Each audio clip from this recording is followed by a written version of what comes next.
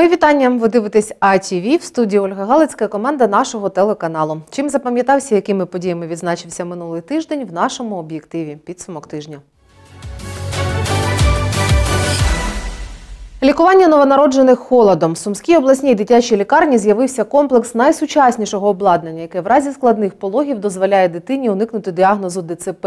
Апаратуру придбали за кошти обласного бюджету. Про суперсучасні технології в ексклюзивному матеріалі кореспондентів АТВ.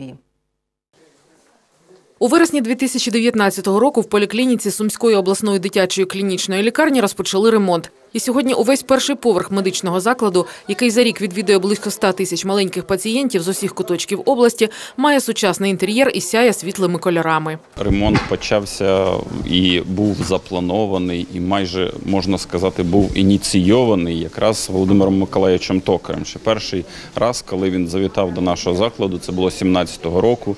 Перше, що він сказав, вам тут треба щось змінювати. Все тут ну якось дуже сумно. Тут же діти. Замінено покрівлю підлоги, стіни вирівняні, поставлені так, як мають бути. Стеля, освітлення, меблі нові в поліклініці. Це все дає можливість тим пацієнтам, які до нас звертаються, бути в більш комфортних умовах. Вони відволікаються, вони не так зосереджуються на своїй хворобі. Але крім якісного ремонту, медики демонструють головне придбання комплекс унікальної апаратури для відділення інтенсивної терапії новонароджених, на який з обласного бюджету виділили понад 7 мільйонів гривень. Це сучасний апарат для проведення штучної вентиляції легень, який дозволяє вентилювати дітей від 500 грам з точністю до 1 мл. Проведення тотального охолодження тіла дозволяє запобігти процесу некрозу, тому що це терапевтичне вікно 6 годин перших. Е, про- В організм в головного мозку відбуваються процеси апоптозу, тобто програмування клітин на загибель. І в ці перші 6 годин життя можна втручатися і запобігти гибелі цих нейронів головного мозку. Новітня технологія порятунку немовлят холодом вражає. Дитина охолоджується на 72 години. 72 години витримується в такому охолодженому стані. За цей час постійно працює енцефалограф, який повністю фіксує мозгову активність дитини. І е, за рахунок цього ми можемо бачити скриті, сховані ті, які судоми були у дитини, але не виявлялися зовні, а збудження мозку. На час, коли мозок охолоджений, сповільнюються всі обмінні процеси в головному мозку. Це дає нам терапевтичне вікно для відновлення цієї нервової тканини, яка була пошкоджена під час асфіксії е, важкої та середньої ступені, яка є показами до цього лікування. Асфіксія це клінічний симптом, коли у дитини одразу після народження через родові травми відсутнє спонтанне дихання. Відтак в мозок не надходить кисень. Тяжка асфіксія може спричинити незворотні зміни у мозку малюка і подальші тяжкі фізичні вади і психічні розлади. Метод тотальної гіпотермії, пониження температури тіла єдиний успішний метод лікування немовлят. Згідно світових медичних даних, його позитивна результативність 75%. Раніше діти, які, які були уражені під час пологів, і була недопоступлення кисню до головного мозку, тобто тяжка асфіксія, це 90 це 99% ДЦП, 1% це смерть. Ця апаратура дозволяє профілактувати дитячий церебральний параліч і взагалі профілактувати тяжкі ураження центральної нервової системи. Дитяча лікарня пріоритет у фінансуванні для всього депутатського корпусу, говорить голова обласного парламенту. Тому медичний заклад отримує обладнання, якого раніше тут ніколи не мали. Апаратуру для реанімації новонароджених придбали у 2019 році. З чотирьох три абсолютно нормальні діти. Що таке 8 мільйонів? Це нічого, коли ми спасаємо дійсно дитяче життя. І подивіться зараз, ось ми з вами знаходимося в тому відділенні, де по 700 грам, а ми сьогодні вихажуємо. Вихажуємо дітей, у яких було 640 грам, і сьогодні вони абсолютно нормальні діти. Тому ми на правильному путі, і я дякую лікарям, Дякую персоналу за те, що вони роблять цю роботу. Підтримка моя особиста є, але ще підтримка практично кожного депутата. Сумська обласна дитяча клінічна лікарня має також спеціалізований реанімобіль для транспортування немовлят до відділення. Тепер справа за злагодженими і швидкими діями лікарів-неонатологів у всіх містах і районах Сумщини, аби вкластись у шість перших годин від народження дитини. Тетяна Полозова, Євген Сердюк, Олександр Яловець, АТВ. Роблять важливу справу, рятують немовлят та чомусь не отримують за це мільйони, як директор обласного центру екстреної медичної допомоги. Цього тижня, до речі, озвучили результати службової перевірки комісією за цим фактом. Комісія перевірила, за яких обставин директор Сумського обласного центру екстреної медичної допомоги та медицини катастроф щомісяця отримує понад 100 тисяч гривень. В той час, як середня зарплата його підлеглих складає 5-6 тисяч гривень. Крім того, виявлені порушення, що керівник, маючи доходи е, більше там, 100 тисяч в місяць, він не подавав, не реєстрував е, декларацію, не подавав декларацію щодо зміни істотних умов. Е, Крім того, е, протягом осені минулого року лікувальний заклад отримав два реанімобілі від фонду Рената Ахметова. Протягом осені автомобілі не були зареєстровані. Керівник пояснює тим, що у нього було недостатньо коштів для реєстрації цих автомобілів. І досі залишається невирішеним питанням контрактування закладу з Національною службою здоров'я. Сьогодні зранку е, керівник лікувального закладу був запрошений до е, виконуючої обов'язки голови облдержадміністрації. Е, Управління охорони здоров'я, я там, моя заступник були у Ірини Валеріївни. Керівник лікувального закладу не з'явився. Коли ми зв'язалися, сказали, що він дуже себе погано почуває. Розібратися в ситуації мають правоохоронні органи, наголошує очільниця області. Я звертаюсь, е, Віталій Николаївич, до правоохоронних органів. Будь ласка, цю ситуацію розберіться, що відбувається в цьому закладі. Лікарі звільняються, молодший персонал уїжджає, грошей не вистачає. Ситуація дуже в складному стані. А головний лікар на протязі трьох років це нікому не було відомо. Е, Отримує заробітну плату по 100 тисяч. Замість пам'ятника декоративна скульптура. Саме так, згідно рішення виконавчого комітету Сумської міськради від 17 січня, називається резонансний монумент з Ярославом Мудрим. Навіщо була потрібна зміна статусу і назви, пояснив заслужений архітектор України Володимир Биков. Торік восени місто отримало подарунок від обласної організації Конгресу української інтелігенції пам'ятник Ярославу Мудрому. Згідно українського законодавства, спорудженню пам'ятників, пов'язаних із видатними державними діячами, має передувати певна процедура. Її стверджує заслужений архітектор України Володимир Биков, так і не дотримались. Нарікання були і до правил розміщення пам'ятника в історичній частині міста, а також пропорцій самого монументу. Набрала необхідну кількість голосів і петиція щодо знесення пам'ятника. А народні художники, і заслужені діячі мистецтв Сум, Києва і Харкова звернулися до кабінету міністрів щодо роз'яснень. Тож 17 січня виконавчий комітет Сумської міськради прийняв рішення змінити слово пам'ятник на декоративну скульптуру. Декоративная скульптура – это малая архитектурная форма. То есть мы, слово у нас МАВ, так? Это альтанки, павильоны, навесы, арки, колонны, вазы, балюстрады. И декоративная – это игровая скульптура. Памятник Ярослава Мудра, который мы видим, это уже не памятник, это игровая парковая скульптура, вот как мы говорим, три поросенка, там э, дама с веслом, сейчас многие начинают уже стебаться с этого. Володимир Биков пояснює, навіщо відбулася ця зміна. Это сделано для того, чтобы просто уйти от официального документа разрешения на строительство, потому что власть поняла, что она э, нарушила серьезную процедуру. Поэтому это очередной ляпсус, и э, хуже больше не придумаешь. И это уже проблема не только города Сум, а, наверное, это уже э, плевок на всю Украину, на ее историю. Анна Світлична, Андрій Чишенко, АТВ. Чи то телевізор подивилися, чи кількість голосів під петицією змусили виконавчий комітет Сумської міської ради цього тижня говорити про демонтаж скульптури Ярославу Мудрому у сквері СКД. На порядку денному засідання виконавчого комітету 52 питання розпочинають зі звіту про виконання міського бюджету за 2019 рік. Далі розглядають петицію архітектора Сергія Вінтоняка про демонтаж незаконно встановленого пам'ятника Ярославу Мудрому. Этот объект ра- располагается, я имею в виду памятник, в ареале, охоронном ареале исторического памятника архитектуры. Для того, чтобы он был там размещен законно, необходимо было принимать решения и согласование с Министерством культуры, чего не было сделано.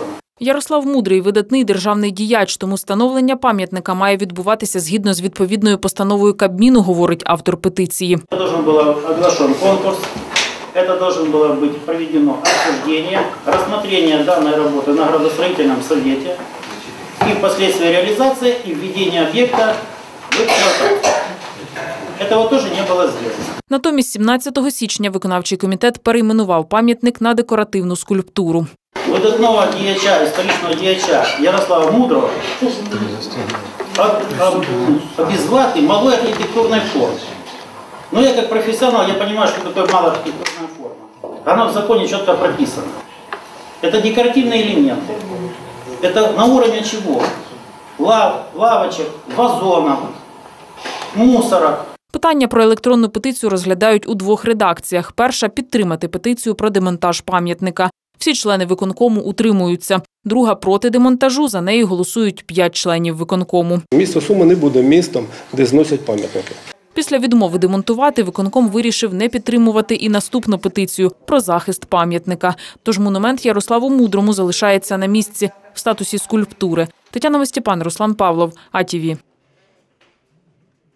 А згідно доручення міського голови у Сумах опрацьовують питання капітального ремонту вулиць Харківської, Курської та проспекту Лушпи. На Харківську піде 70 мільйонів. Це ремонт дороги від фонтану Садко до вулиці Прокоф'єва. Розробка проектно-кошторисної документації з ремонту дороги на проспекті Лушпи триває. Капітально відновити мають дорожні покриття від Харківської до Героїв Крут. Документація з оновлення шляху на Курському проспекті не розроблялась. Дві платіжки замість однієї. Починаючи з січня 2020 року, споживачі окремо сплачують за блакитне паливо та окремо за його транспортування. Чому розділили платежі, як сплачувати за доставку палива і чому вартість транспортування у всіх різна, розповіли в акціонерному товаристві «Сумігаз». З січня українські споживачі почали отримувати дві газові платіжки – окремо за газ, окремо за його транспортування. Це не додаткові гроші, пояснюють суми газі. З квитанції просто вилучать суму за розподіл газу, її доведеться платити окремо. Плата за розподіл природного газу вона існувала завжди, і споживачі сплачували її завжди у складі е, вартості природного газу, кінцевої е, ціни природного газу. Тобто це абсолютно не, не новий платіж. Економічна сутність цієї послуги вона абсолютно не змінилася. Це плата за утримання і обслуговування газових мереж. Саме для цього необхідний цілий комплекс е, газового обладнання, яке необхідно ремонтувати, е, обслуговувати регулярне обстеження воно потребує, замінювати своєчасно. Це і є е, витрати на утримання газової мережі. Послугу розділили між двома підприємствами. Одне постачає блакитне паливо, а інше займається обслуговуванням мереж. Тому і з'явилося дві платіжки. Це відбувається через офіційний запуск ринку газу. Новий порядок у разі необхідності має спростити споживачеві зміну постачальника палива. Сума в платіжці за розподіл газу залежить від об'ємів споживань. За основу братиметься об'єм використаного палива за попередній період. На 2020 рік це період з 1 жовтня 2018 року по 31 вересня 2019 року, який ділиться на 12 і множиться на тариф місцевих операторів. За розподіл газу доведеться платити щомісяця, навіть тоді, коли ви не перебуватимете в помешканні та не користуватиметеся газом. Для того, щоб ви е, в будь-який момент могли відкрити газовий кран і отримати е, собі природний газ для е, користування, газорозподільна компанія е, повинна виконувати комплекс е, заходів по підтримуванню тиску по підтримуванню тиску в газовій мережі, незалежно від того, користуєтесь ви газом чи споживаєте ви газ е, в конкретний е, час чи ні. Якщо ви плануєте споживати газ, ми повинні підтримувати тиск. Саме тому було прийнято рішення е, привести платіж до е, розподілу природного газу до е, такої форми рівними частинами протягом року. Це мали бути однакові суми, але у 2020-му тариф на розподіл зріс і ще одне підвищення відбудеться 1 липня. Тому в першій половині року плата за розподіл буде дещо нижчою, ніж в другій. Національна комісія регулювання енергетики вирішила з метою зменшення е, фінансового навантаження на споживача е, не вводити зразу економічно обґрунтований тариф, а затвердили його для нашого підприємства на рівні 94 копійки. Вводиться двома етапами. З 1 січня це буде 76 копійок, з 1 липня 94 копійки без ПДВ. Платіж за транспортування газу здійснюється за тим самим особовим рахунком, що і за сам газ, але окремо. В банківських установах, в терміналах, в е, електронних е, системах е, платіжних підприємства АТ «Сумигаз» ідентифікуються за кодом ЄДРПУ. Тобто споживач повинний у розмірі у квитанції побачити код ЄДРПУ, ввести цей код і з'явиться е, адресат оплати. Сумигазі говорять, в платіжках, що надійшли наприкінці січня, вказана сума оплати і за лютий, тож окремої квитанції цього місяця чекати не варто. Ще одна порада: зекономити на комісії банків можна, якщо оплатити одним платежем за кілька місяців. Ольга Галицька, Андрій Чешенко, Євген Сердюк, АТВ. З нагоди дня вшанування учасників бойових дій на території інших держав, який відзначають 15 лютого, і 31-ї річниці з дня виводу радянських віз з Афганістану, міський голова Сум зустрівся з ветеранами, матерями та вдовами воїнів-інтернаціоналістів. Зустріч у форматі діалогу проходить у конгрес-центрі СумДУ. Напередодні пам'ятної дати міський голова зустрічається з воїнами-інтернаціоналістами та їх родинами. Спасибо власти нашей городской, которая помнит о нас, заботится, которая оказывает нам какое-то содействие. Потому что очень тяжело оставаться один на один со своей бедой. Разом з тим, говорять, залишається низка невирішених питань. Сейчас ни одного инвалида нет в зале. Почему? Потому что раньше были закреплены предприятия за инвалидами, Общественные организации, которые помогали инвалидам. На сегодняшний день они не выездные и не выходят из дому. Второй вопрос квартирный. Вы сегодня выделяете, мы никак не хотим сказать плохо участникам АТО, мы очень объединяемся, дружим, помогаем друг другу, потому что у нас общие проблемы.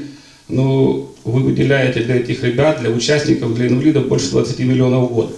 Для афганцев, для участников боевых действий, инвалидов ни одной копейки с города не выделяется. Олександр Лисенко зазначає, міська влада в межах власних можливостей і повноважень дбає як про учасників АТО, так і про воїнів-інтернаціоналістів, які стали прикладом мужності та героїзму для молоді. Ми допомагаємо соціальними програмами як влада. Ми допомагаємо е, соціальною підтримкою як влада. Але ми повинні забувати, що ми також і люди, і просто особисте спілкування може більше колись допомогти, або, або просто виконання свого обов'язку. Незалежно від того, які будуть фінансові проблеми в державі, в першу чергу ми повинні допомагати один одному. В першу чергу ми повинні і ми збережемо, які фінансові проблеми у нас не були в минулому році, і в цьому році, що очікується, все одно ми будемо зберігати програми соціальної підтримки воїнам афганцям, членам їх родин. Повірте, це буде так, і я вас цьому запевняю.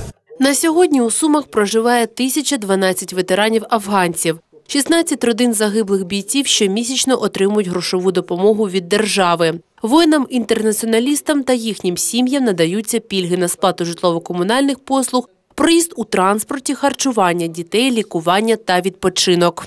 Санаторно-курортне забезпечення проводиться відповідно до державної програми за кошти державного бюджету.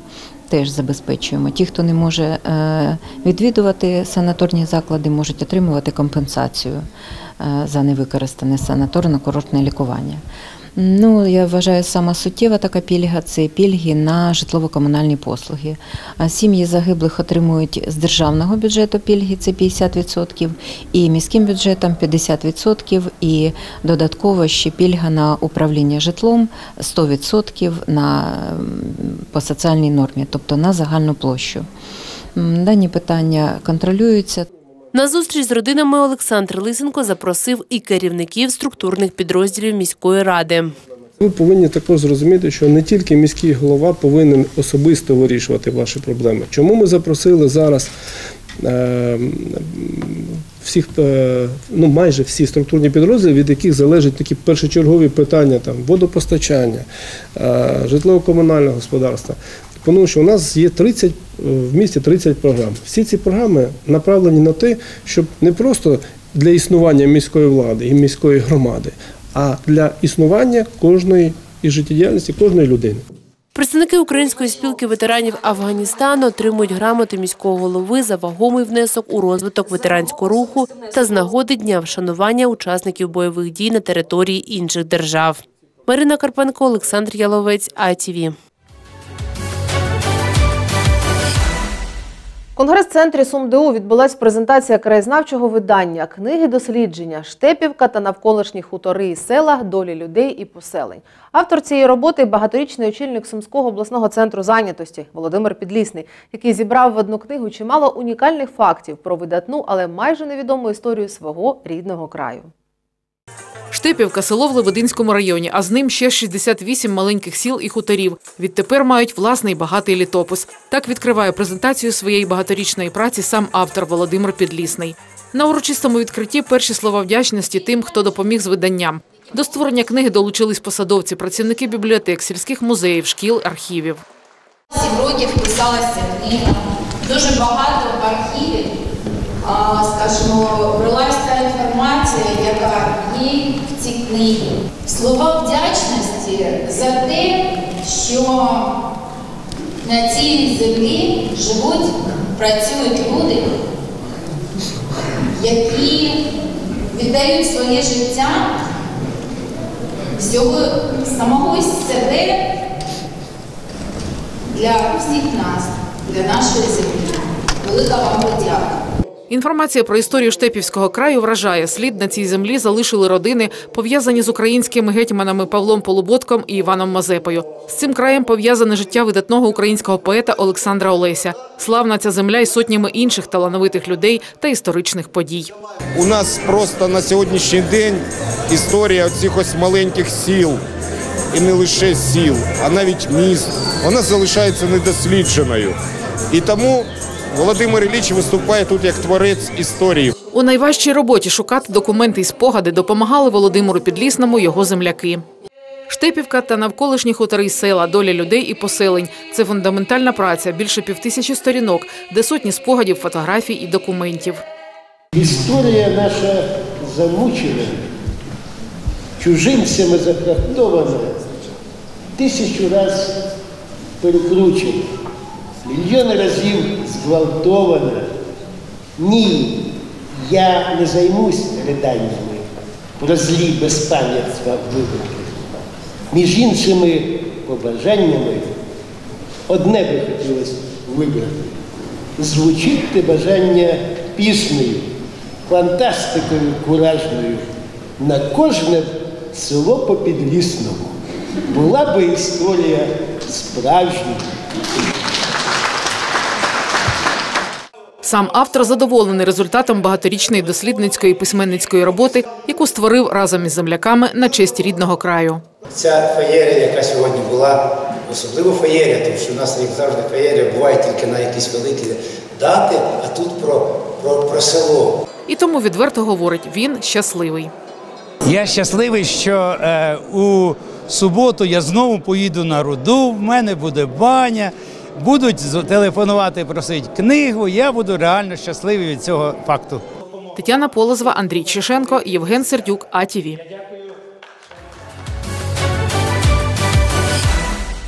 І на кінець випуску приємна новина. У Сумах вирішили не подовжувати карантин, адже грипи ГРВІ відступають з понеділка на навчання. Що ж, таким був цей тиждень. 15 лютого вшановують учасників бойових дій на території інших держав, а православні відзначають стрітення Господнє. У народній традиції це свято вважається першою зустрічю весни. А весна це свято, яке завжди з тобою. Тримайтеся до весни 14 днів тепла і добра вам. Зустрінемось наступних вихідних.